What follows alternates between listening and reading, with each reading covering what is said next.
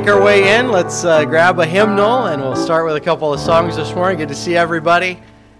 Welcome to Northwoods Baptist. Let's all stand, turn to number 259. Song number 259 Jesus Saves, Jesus Saves.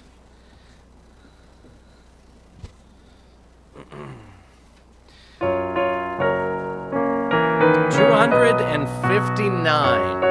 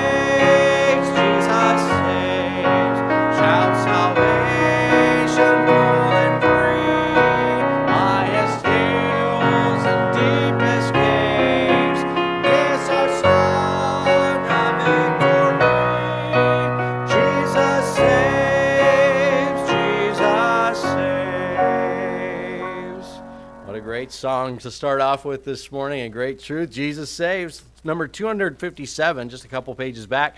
Look and live. That's really all it takes is just a look of faith and a heart to believe it. Look and live. 257.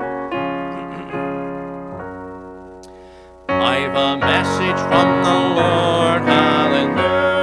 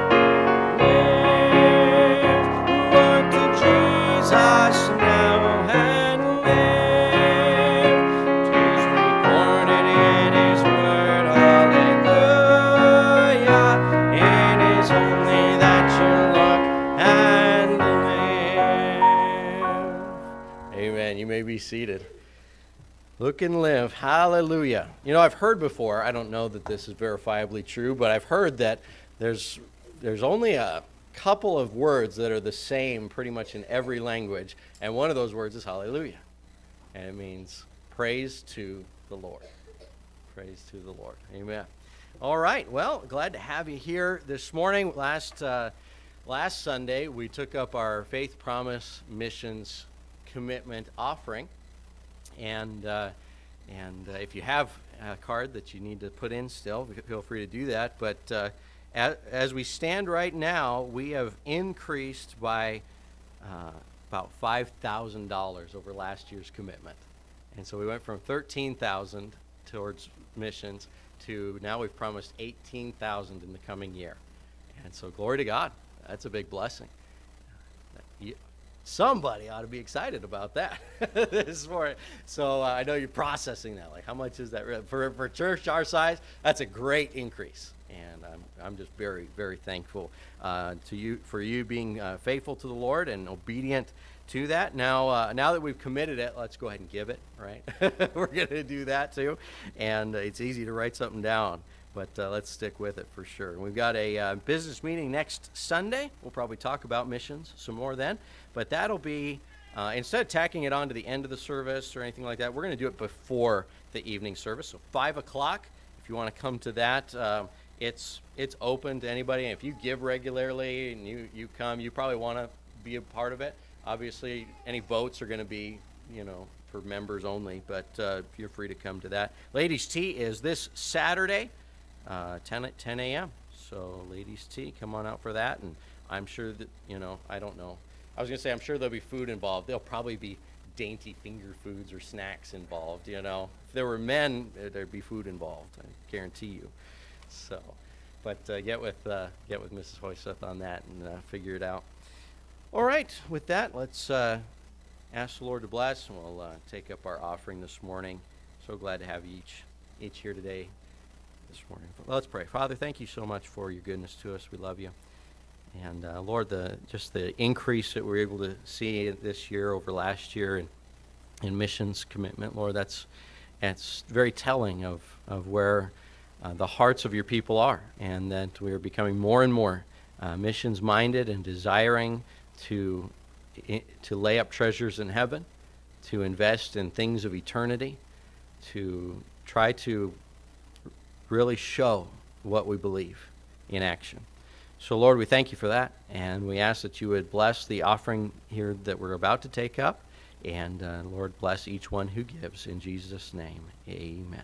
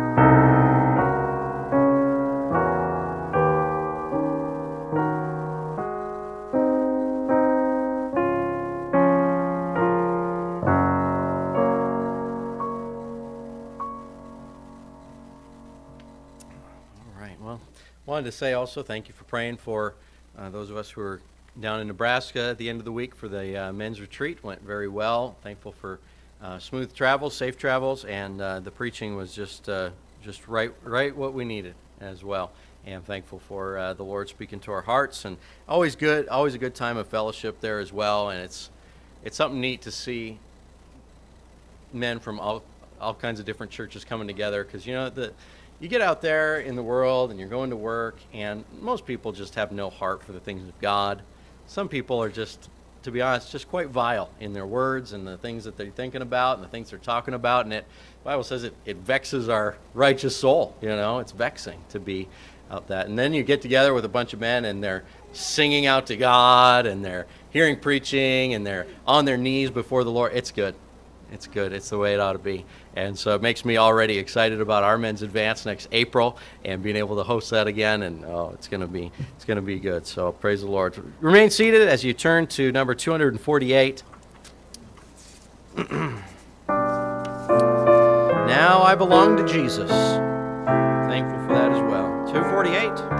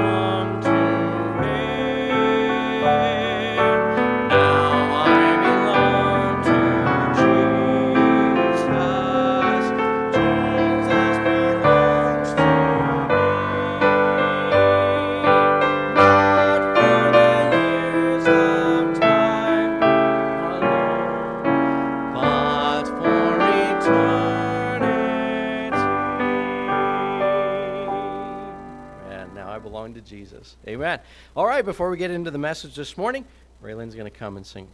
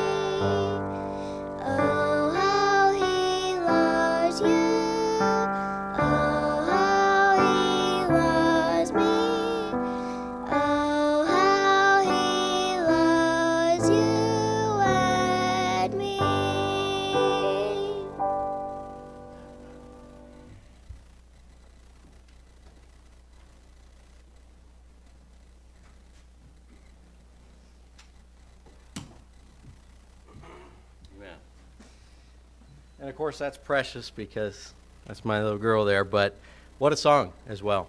Simple song, but uh, great, profound truth in that. And if there's anything we need to keep in mind in this crazy life, if there's any message that I could even preach to you this morning, it's this Oh, how he loves you and me.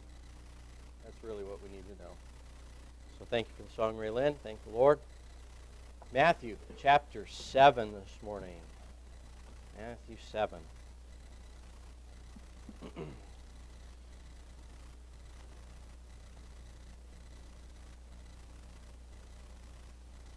We're going to begin where we started last week, which was verse 1.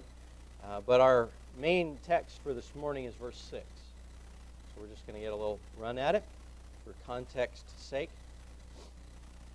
And really, I'm going to read through to verse, verse 7. Matthew chapter 7, verse 1 says, Judge not that ye be not judged. For with what judgment ye judge, ye shall be judged. And with what measure ye meet, it shall be measured to you again. And why beholdest thou the mote that is in thy brother's eye, but considerest not the beam that is in thine own eye? Or how wilt thou say to thy brother, Let me pull out the mote out of thine eye, and behold, a beam is in thine own eye? Thou hypocrite, first cast out the beam out of thine own eye, and then shalt thou see clearly to cast out the mote out of thy brother's eye. Give not that which is holy unto the dogs, neither cast ye your pearls before swine lest they trample them under their feet and turn again and rend you. Ask, and it shall be given you. Seek, and ye shall find. Knock, and it shall be opened unto you. Pearls before swine. Right. Father, thank you again for your word and uh, for each one who's here, member and visitor and regular tender, Lord. I'm just thankful for this church and this church family and uh, for the uh, truth that we are able to lift up here, Lord. You say that the church is to be the pillar and ground of the truth. And we pray that we would fulfill that purpose here this morning by uplifting the truth upon which we are based. Lord, we thank you for, for what you're going to do in our hearts. In Jesus' name, amen. when I was around six or seven, our family got a dog. It was so exciting. We got a German short haired pointer that we called uh, Danny. And I remember for at first he was kind of an indoor dog, and once we moved out to the farm, he was he was out in the garage. He was fine, you know. And, but uh, even when he was an indoor dog, he was not allowed in the kitchen. So there was this metal transition piece between the carpet and the vinyl in the kitchen, you know, and that was his line. And he had been trained that's your line. So of course he's right up against it every time, you know. When we're in the dining room having having our meal, his paws would be on that transition piece. I mean, he's just he's right there. You know, his nose about as far into the kitchen as he as he dared go, giving us pathetic little looks as as we would eat our, our supper. And he would always rather have what we were eating than the dry dog food that he had. And if he waited long enough, patient enough, without whining, he would sometimes get some scraps. You know, he'd get the, the bone from the pork chop or from the steak or whatever we were having. He'd get a couple of scraps. I'm telling you, he lived for the scraps, Danny did. He loved it. I remember one time there was something delicious, you know, sitting out on the kitchen counter, and uh, Dad wasn't quite home from work yet, so it wasn't quite dinner time. And Dad, Dad was the one that Danny feared the most. Because he had done all the training and stuff. And uh, my mom could yell at him, and he'd just look at her, you know, and wag his tail. And we would try to be the bosses, but we're the kids, and so he didn't listen to us. But when Dad spoke, Danny cowered. I mean, he was he was very very obedient to that. But Dad wasn't there, and there's something delicious wafting in, you know. And uh, so, in a moment of weakness, Danny caved in, and he he crossed the threshold, and he darted into the kitchen, and he snagged it that food right off of the counter that was for supper. And he chowed down. But by the time Dad got home, strangely, Danny could not be found. He was uh, hiding in a corner somewhere, knew that he had done wrong, knew he was going to be in trouble and pay for that. It's one thing for the dog to get the scraps, you know, to get the bone after the family has already eaten. But I'm telling you, my mom didn't slave away all day cooking pork chops for the dog. That was, that was for us. It wasn't for him. He might have enjoyed it, but you know, Danny enjoyed a lot of things. He, he'd enjoy a dry biscuit that you give to him, a dog biscuit. He would in, sometimes enjoy a fly out of the window. Uh, he would enjoy grass. He would, for some reason, enjoy his own vomit once in a while. So uh, he doesn't need the best from our table. Scraps are plenty for a dog. Uh, it's, it, it's not for him. Well, imagine uh, picture here before us. Give not that which is holy unto the dogs. The picture is of, say, a family in Israel. They have brought, they have raised up a sheep that is without blemish. It's for a sacrifice for their family. And they bring it to the door of the tabernacle and they slay that sheep. And the priest inspects it outside and inside, make sure that there are no, no diseases or no boils or no blemishes at all in it. And, and he dedicates that to God. Parts of it go onto the altar, the other parts are set apart, and they are holy uh, and supposed to be eaten only by the priests and, and very holy. Now imagine if somebody took that meat that had been offered on the altar of God, and it was holy and it was set apart for the priests and for a certain purpose, and they took that and they threw it outside the walls of the tabernacle to a pack of dogs out there, and they started chewing it up and eating. It was supposed to be special, right? It was supposed to be, it was supposed to be something that was holy. That would be inappropriate to waste it on those unclean dogs that couldn't care less what it is. You know, dogs weren't uh, highly regarded in Israeli culture as they are in ours. To, here in America, I mean, a dog is man's best friend. You know, you, you, and somebody said you can you can tell who loves you most. You know, who loves you most, your wife or your dog? And here's how you tell: put them each in the trunk of a car for a day. Whichever one's happiest to see you loves you the most. I think the dog would love you still. Dogs are man's best friend, you know. And uh, but in Israel, they were unclean. They were an unclean animal. They were not kept as pets like that. Uh, dogs that were around were more like uh, half wild dogs. They'd roam the streets, you know, in packs, and sometimes they'd hunt the little animals. But mostly they were just nasty scavengers. They'd be tearing into garbage. They'd eat whatever dead things that they found. Uh, they, they, you, you, don't, you don't waste that which is good and that which is holy on dogs that don't care what they put in their mouth. They don't care what is holy. That's the first little picture that Jesus gives. And, but then he emphasizes it in a second way, kind of the same truth, but in another way. He says in verse 6 Give not that which is holy unto the dogs, neither cast ye your pearls before swine, lest they trample them under their feet and turn again and rend you. So here you've got a picture of a bunch of hogs, and they're rotting around in the mud. We all know what cleanly animal pigs are. Animals, pigs are. Get my pronouns straight here.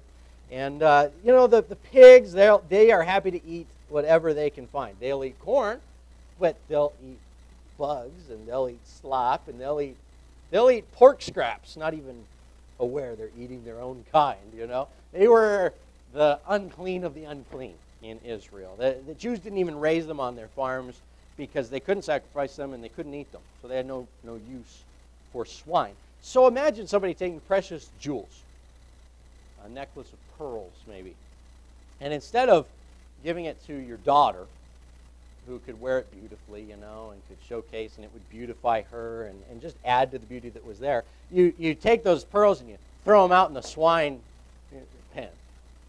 Well, probably they're going to try to eat them first. And then when they figure out they can't eat them, they're just going to trample them down, and then they're going to come back to you for more food, perhaps violently. You ever heard people say, don't feed the bears? If you go out to Yellowstone or something like that, there's always these stories of dumb people, you know. Um, there's a grizzly bear. Let's, let's get it over here. You know, let's feed it. Now, once you run out of food, you become the food.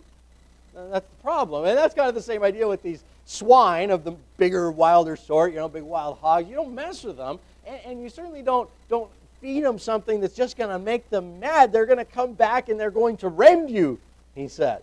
It's not safe, not smart. What, a, what an interesting pair of illustrations he gives us, you know, something to really chew on here this morning. Because Jesus has this way of making practical points with almost ridiculous, ridiculously extreme illustrations. Like we just talked about the mote and the beam. Maybe you've gotten a splinter in your eye, but I guarantee you've not had a log in your eye. Okay? But he, that's the picture he presents. So he takes it to the extreme to really give us a truth. And, uh, you know, I mean, who would give some special, holy, set apart morsel to dogs? Nobody would do that. Who would, who would really take fine jewelry and give it to, to pigs? Nobody would do that. But he's making a point here. It's an illustration of a spiritual truth. this might surprise you, but the dogs and the swine that Jesus is talking about are actually certain kinds of people that we need to identify by exercising wisdom and discernment. So, that which is holy, pearls, that's regarding that which we deal with in, as disciples. You know, we deal with spiritual things. They have treasures in heaven. We're supposed to have our focus on not on material things on the earth where rust and moth doth, doth corrupt and so on. And we're supposed to have our eyes upon that which is eternal, that which is spiritual. Romans 14, 17 says, For the kingdom of God is not meat and drink, but righteousness and peace and joy in the Holy Ghost. That means it's not material. His kingdom is not a material kingdom. It's not an earthly kingdom. It's a kingdom of righteousness. It's a kingdom of peace and joy in the Holy Ghost. It's a spiritual kingdom. Look at Matthew uh, 13. Matthew chapter 13, verse 45.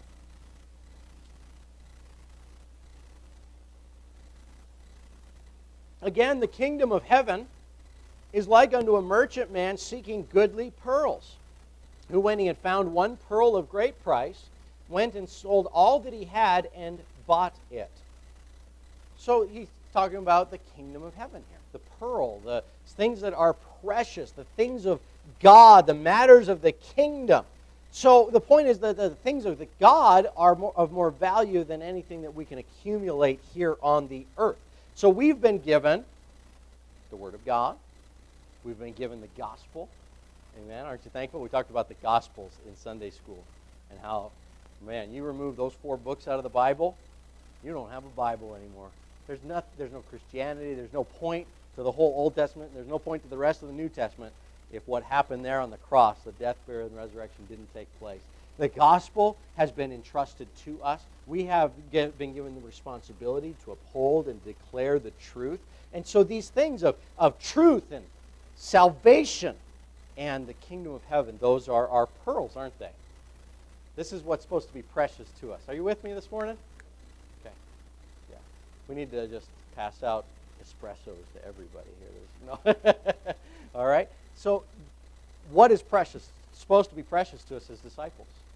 Spiritual things, things about the kingdom, truth, Bible, salvation, gospel. These are our holy things. These are our precious pearls.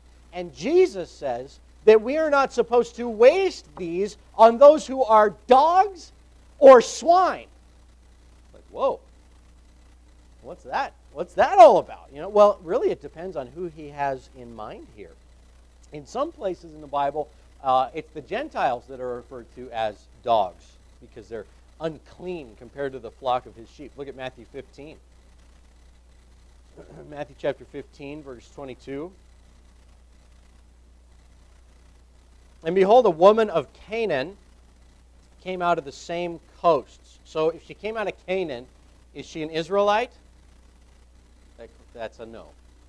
All right?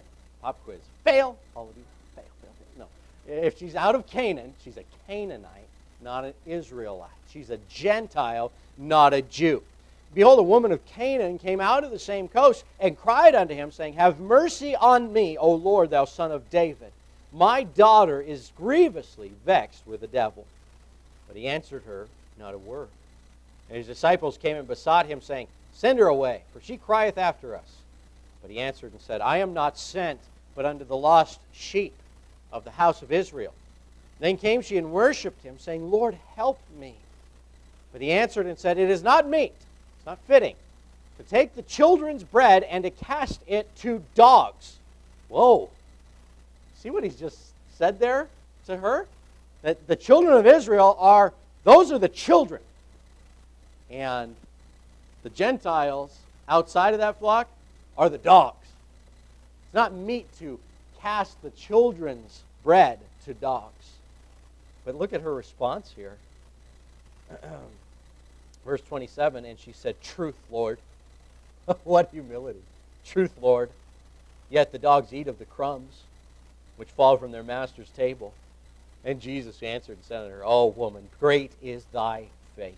Be it unto thee even as thou wilt. And her daughter was made whole from that very hour.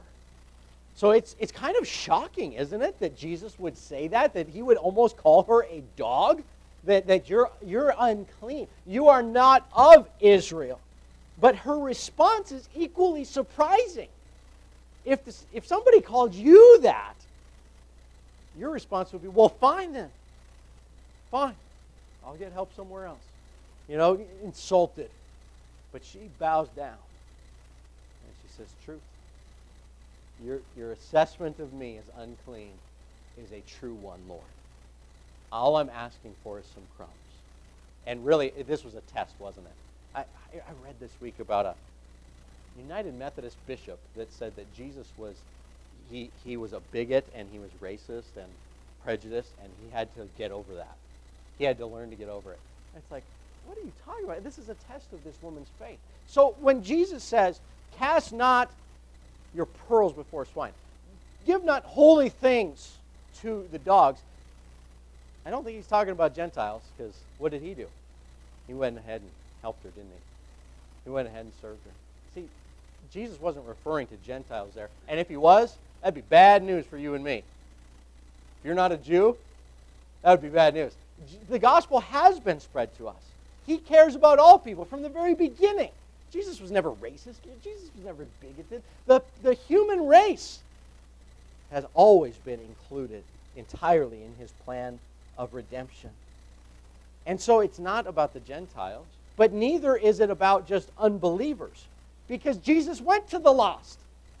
He tells his disciples, I want you to take this, the gospel, and I want you to preach it to every creature, to the uttermost. So it can't just be the lost because they're unclean and stuff, that they're all dogs and swine, and, and we've got the truth here in our church, and, and we're not going to go and take it to all of them because they're unworthy. If they, if they were worthy, they'd come here and they'd, they'd get it here. No, no, no, no, no, no. Jesus said, Go. You go and preach. You, you preach to every creature. So what is he talking about? What, what is this about? If it's not about the Gentiles, it's not about the, the lost at large. See, it's not about who the person is. It really doesn't have to do with their religion or their ethnicity or whether they're a Jew or a Gentile or lost. I believe the difference is this it's about how they respond to the truth when they hear it. How they respond to the truth when they hear it. Turn with me to John 10. I'm going to show you this. John 10.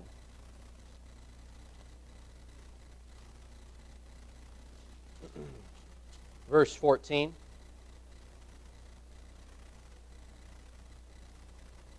Jesus says, I am the good shepherd. Aren't you thankful for that this morning? He's your shepherd. I am the good shepherd, and know my sheep, and am known of mine. As the Father knoweth me, even so know I the Father, and I lay down my life for the sheep. And other sheep have I have which are not of this fold. Them also I must bring, and they shall hear my voice, and there shall be one fold and one shepherd. Verse 19 kind of revealing. Here it says, There was a division, therefore, again among the Jews for these sayings. And many of them said, He hath a devil and is mad. Why hear ye him? Others said, These are not the words of him that hath a devil. Can a devil open the eyes of the blind? So there's Jesus is preaching, Jesus is doing miracles, Jesus is doing all this stuff, talking about being the good shepherd, and there's this segment that says he's out of his mind. He's possessed with the devil. Why do you listen to him? And you've got other people that are hearing and seeing the same things saying, no, no, no. This is a man of God here. There's something special about him. Which one do you think would qualify as more like dogs and swine? The people that rejected the truth once they had heard it, the ones that fought against it. the ones that accused him of being possessed by a devil. They, they, they saw the miracles, they heard his words. Some of them believed and followed him. Others saw all the same stuff, but turned like swine to rend him. Look at verse 31. Then the Jews took up stones again to stone him. So Jesus made it clear there are other sheep out there, right? Other sheep I have. Uh, verse 16. And other sheep I have which are not of this fold. Them also I must bring. There are other sheep out there that are not yet a part of his fold, and he wants to reach them. But the way to tell the difference between a sheep and a dog, between sheep and swine, is how people respond to his word. Those who are sheep hear his voice and follow him. Isn't that what he said? That's exactly what he said. Verse 27 My sheep hear my voice, and I know them, and they follow me. That's verse 25. Uh, and Jesus answered them, I told you, and ye believe not. The works that I do in my Father's name, they bear witness of me. But ye believe not, because ye are not of my sheep, as I said unto you.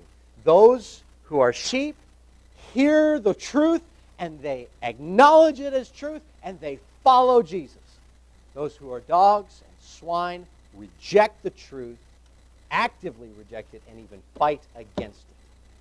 Now, I don't believe that this is a predestination sort of thing. I don't think God created us and said, okay, you're going to be sheep and you're going to be a dog. You know, I, no, we choose our own responses. We're accountable for our own decisions. We make the choice when we are confronted with the truth, whether we will accept that truth or reject it and fight against it. We choose what category that we are in. They've said that the greatest uh, commentary on the Bible is the Bible. So let's look at a commentary on this in 2 Peter chapter 2. 2 Peter chapter 2.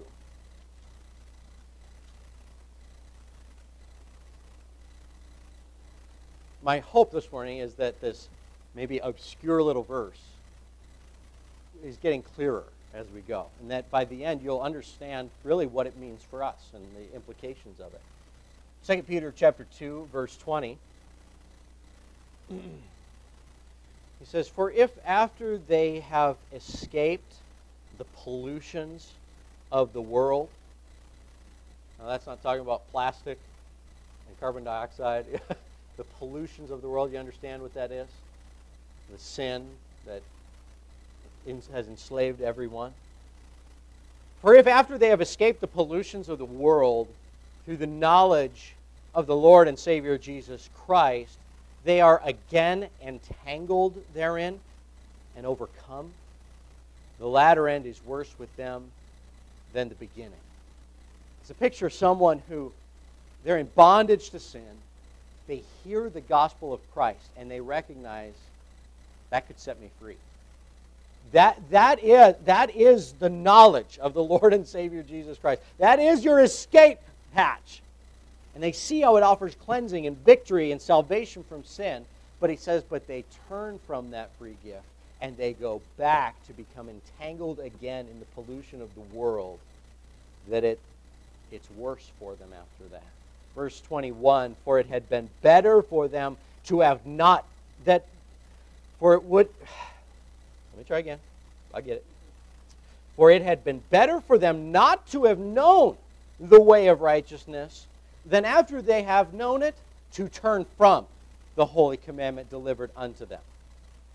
That's just saying that there's lesser punishment for those who have never heard the truth, who never had the opportunity to receive the gospel. There, there's going to be degrees of punishment in hell. Uh, listen, Unless a person turns from their sin and trusts in Jesus Christ as the only means of salvation, they cannot be saved.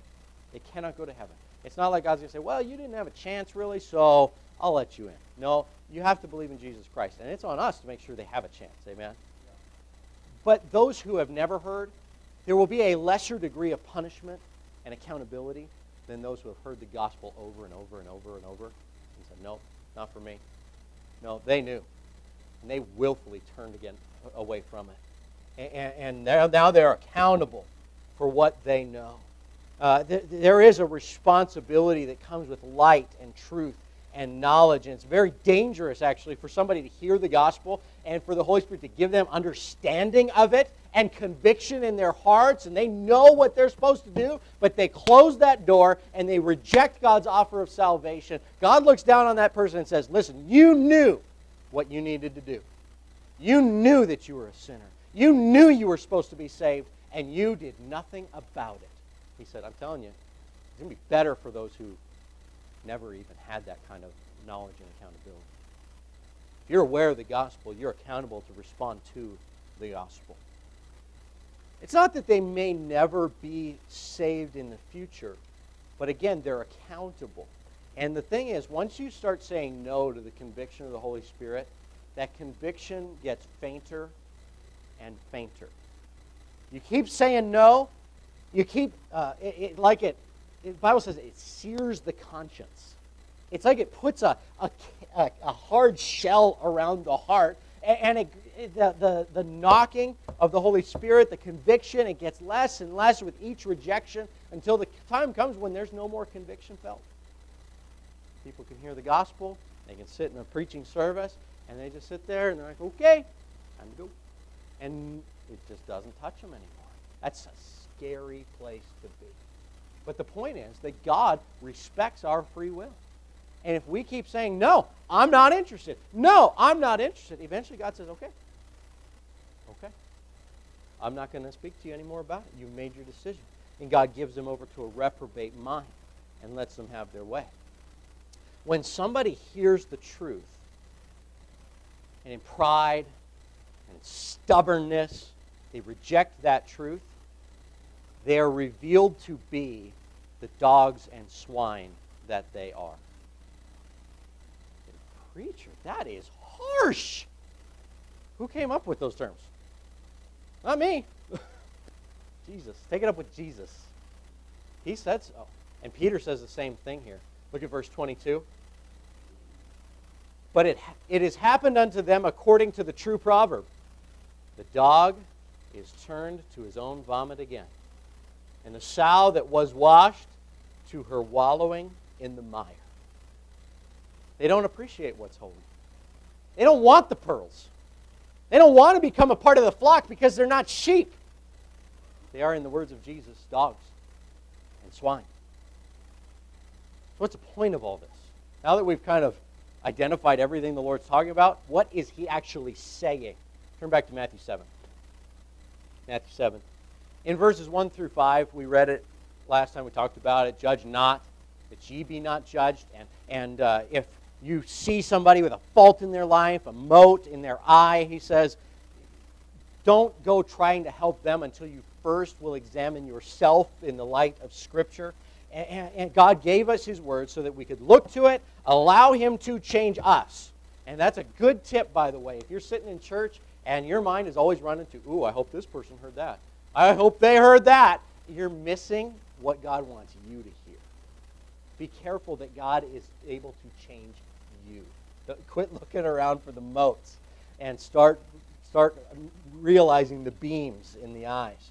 But then, once God has illuminated your heart, once He has changed you, you've allowed Him to change you, then we are able to help others. We're able to encourage them. We're able to edify them and say, hey, brother, I, I see this as a possible red flag in your life. I, I see this as a danger. I, I, I, I, sense that you're getting it on a path of sin here, and that sin's going to lead to destruction. I want to encourage you. And we are to help other people in those ways. But here's a fact you can only help someone who wants to be helped. Ever found that to be true? You can only help someone who wants to be helped. If a man goes overboard off of a ship, but uh, he thinks he's just having fun, you can throw him the life preserver, but if he doesn't grab on, there's not much you can do. You can only help someone who wants to be helped.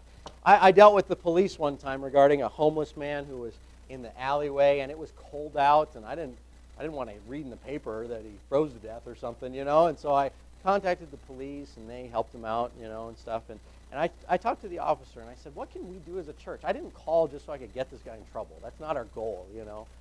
But how do we help people like that? And he said the exact same words. He said, You can only help people that want to be helped. And he said, We know this guy. He has a house, he has a family, he's got a Facebook account. He's chosen this way of life. He wants to drink into all hours of the night and stumble around the streets till he passes out.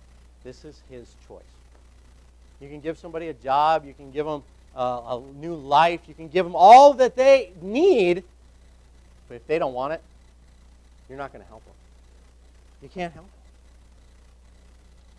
You can give a pig some pearls, wash it up real pretty, put a bow on it, but the next time it sees mud, it's going back to the mud hole. It's going to it's going to trample on the pearls because you haven't changed its nature. You've only changed it on the outside. It's going to go back. See, the Lord's, I believe what he's talking about in this section of Scripture is being wise about our use of time and energy. Because we're his disciples, we're his ambassadors. And, and in the first part of the, the chapter there, he's saying, don't waste your time and energy being critical, being judging of people. Because you got stuff you can work on right now, and there are people out there that need your help. And so quit criticizing, quit nitpicking, quit judging everybody, and just help people with the Word of God. But then he kind of shifts it over and says, you know what? You can only help the people that want to be helped. So don't waste your time and energy trying to help those who don't want to be helped. That's sad, but it's a true statement. Look at Matthew chapter 10. In, that, in, in Matthew chapter 10, the Lord is sending out the, his 12 apostles into the towns and villages of Israel, and they're supposed to be preaching about the kingdom of heaven and all of this. In other words, they're bringing them pearls, aren't they? They're bringing them that which is holy. They're taking them the gospel. Verse 11 And into whatsoever city or town ye shall enter, inquire in it who is worthy, and there abide till you go thence. And when ye come into an house, salute it. And if the house be worthy, let your peace come upon it. But if, you, if it be not worthy, let your peace return to you. And whosoever shall not receive you, nor hear your words, when ye depart out of that house or city, shake off the dust of your feet. For verily I say unto you, it shall be more tolerable for the land of Sodom and Gomorrah in the day of judgment than for that city. Why don't you go everywhere proclaiming the truth?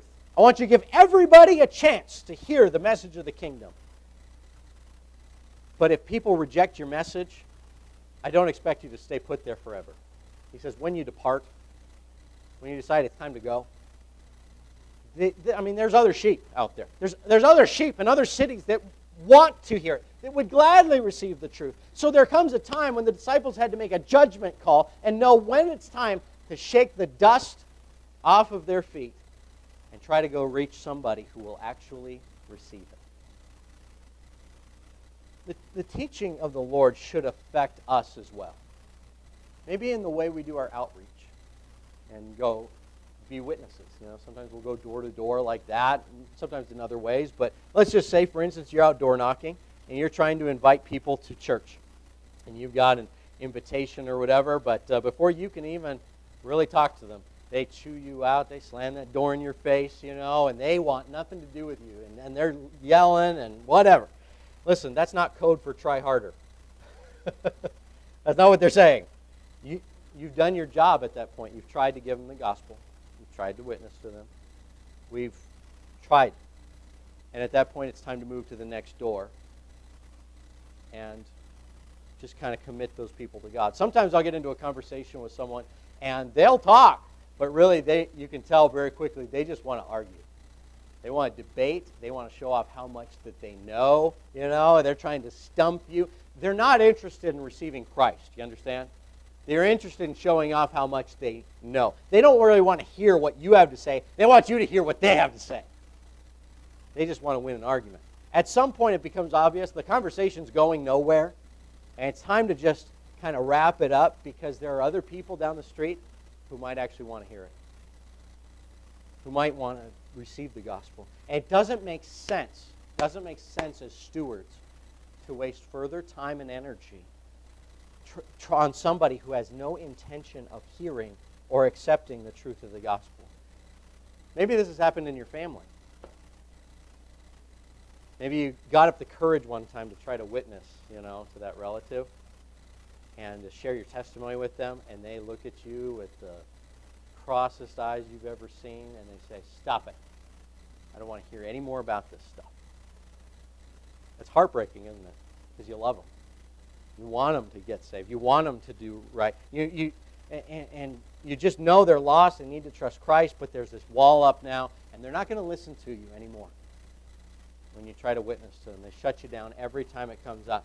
What are we supposed to do in such situations like this?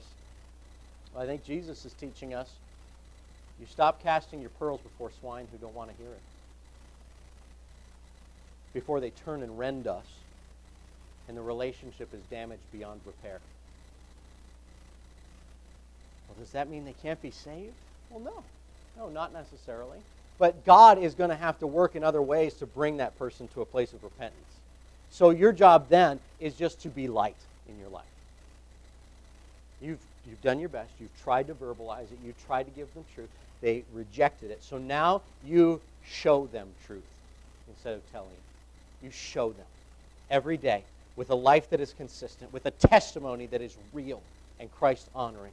Well, does that mean that we give up on them? Well, well, no. No, of course not. We don't give up on them. Turn back to Matthew 7. It's no coincidence that as soon as the Lord has finished instructing about these things that are unproductive uses of our time, the very next thing he says is about taking things to God in prayer. Notice that? Verse 7 Ask, and it shall be given you. Seek, and ye shall find. Knock, and it shall be opened unto you. If you have, uh, if, if you have to stop casting the pearls and stop actively verbally witnessing to that loved one, you enter into verse 7 where you commit it to God and you keep asking and you keep seeking and you keep knocking and you don't give up on them. You just switch tactics so that you don't ruin the relationship. You keep the door open to be able to be a witness to them.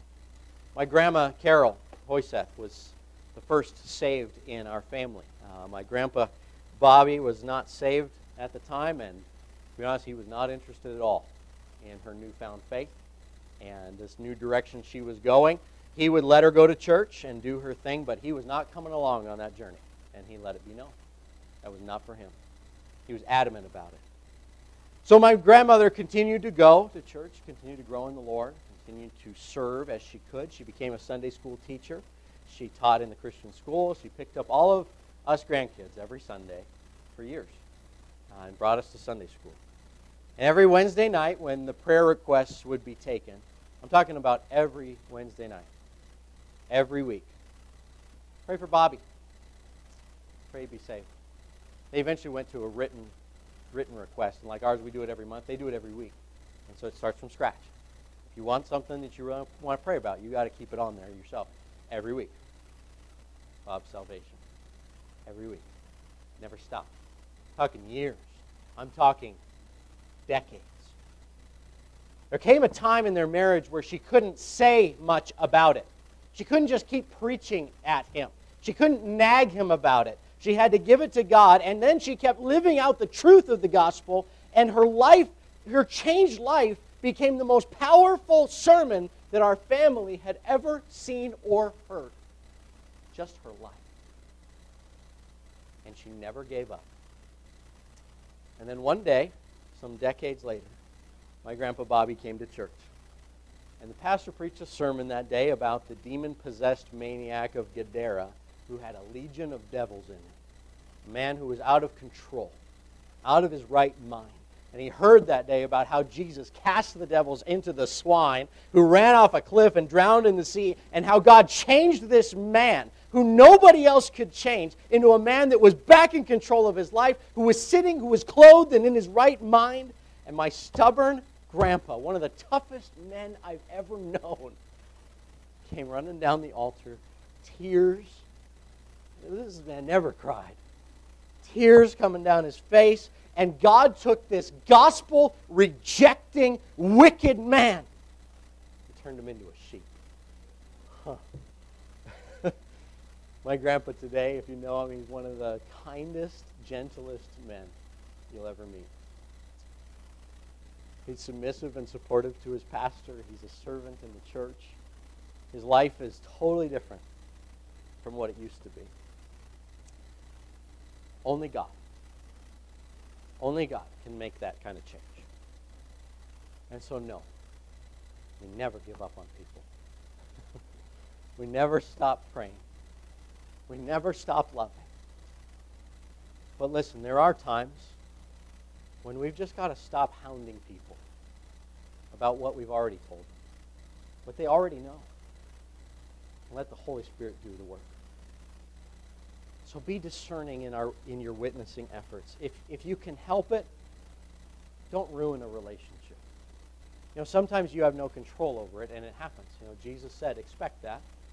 That there may be times when you follow Jesus that you have to leave father or mother or sister or brother. Sometimes that's going to happen.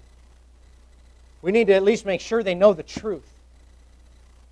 But at that point, their response is between them and God. All we can do is be faithful, right? We live the life God has called us to live. We spend our lives helping those who want our help. When people come to the church, I, I would love for everybody who ever walked through the doors to keep coming. Wouldn't you? Wouldn't that be great?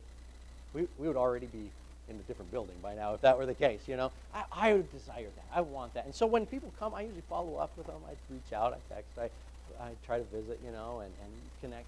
But, some, but you know what? Ultimately, if somebody doesn't want to come, what good does that do? I can't go chasing people, everybody down, and every single week and say, come on, come on, come on, come on, come on. If they want it, they want it. If people want to come, they'll come, won't they? If people want to get saved, they'll get saved. Our job is to tell them, to tell them the truth. Before we're done, let me ask you this What have you done with Jesus? If you've been here, you know the truth. You know that the Bible teaches that every single one of us was born in sin. Amen? I think I'm talking to people that understand that. I don't think I have to belabor and prove to you that you are a sinner in the sight of God. If you have never accepted Christ's sacrifice on the cross, then you are still lost in sin and you are on your way to hell. And I tell you that with all the love in my heart. But God loves you, gave his only begotten Son to save you. Are you ready yet to turn from what you have been and follow Christ? Are you ready to be a sheep? Or will you continue to stubbornly reject and ignore this offer of grace?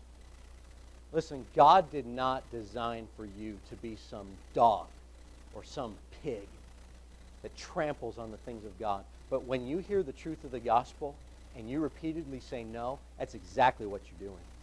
You're taking the sacrifice of Jesus Christ, the holiest offering that has ever been made, and you're wasting it. You're taking the precious pearls of the gospel of eternal life and you're stamping it in the mud. You have no appreciation for it. That is not God's intention for your life. He made you to be a sheep.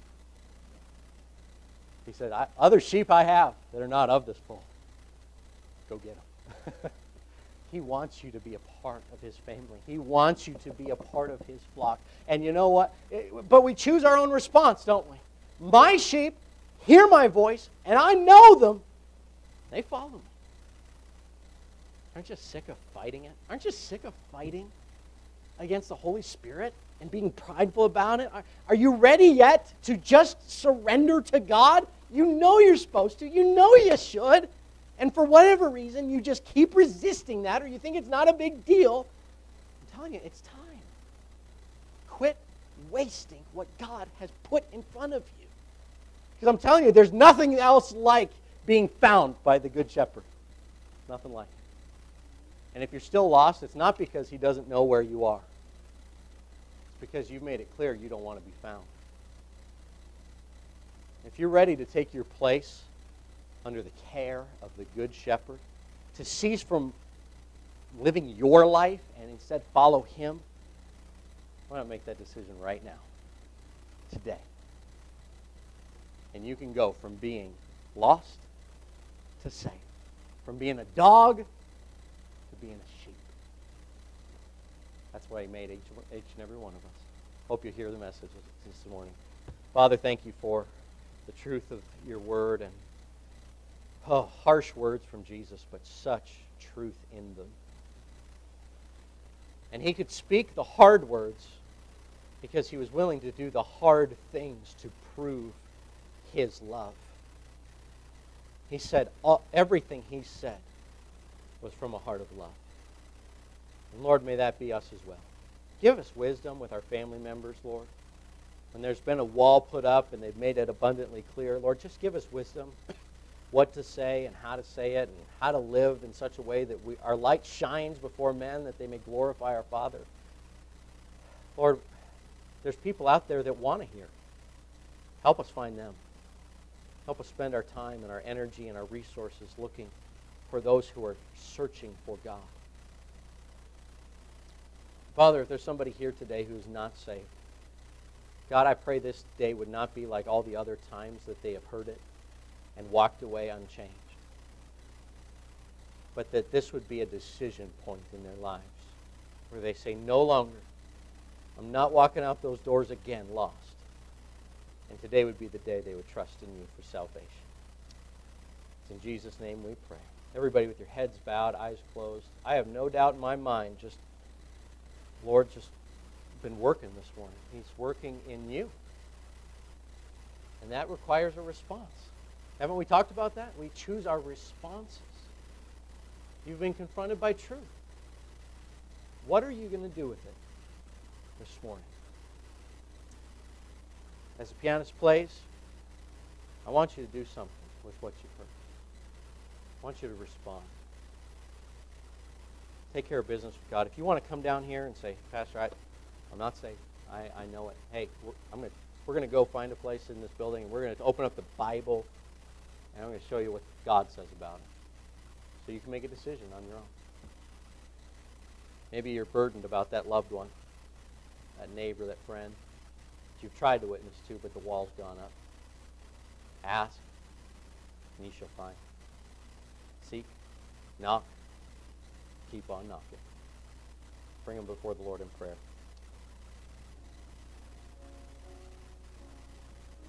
Don't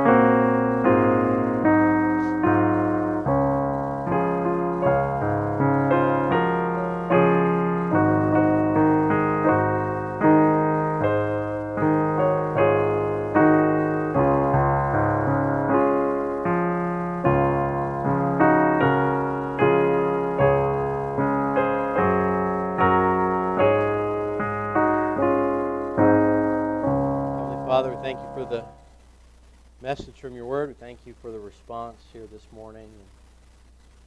Lord, I pray that uh, the work that you have begun in us today will not cease here with the closing of the service. That you'll continue to work, continue to use it, continue to help us be better Christians than we were before. Lord, we ask that you dismiss us now in your care. In Jesus' name, amen. Amen. All right, tonight we're back in the book of Hebrews. Let me